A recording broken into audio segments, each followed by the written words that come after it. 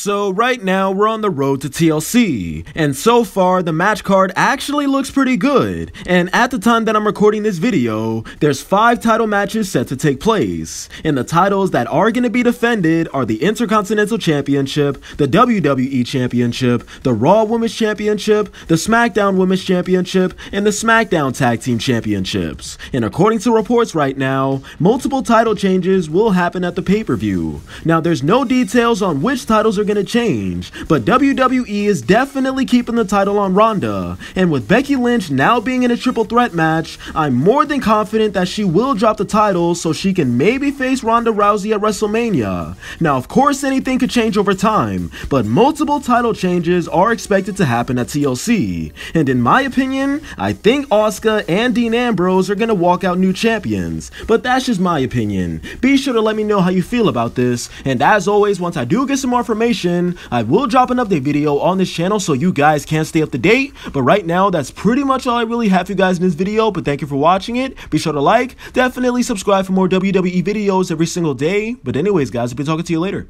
Peace.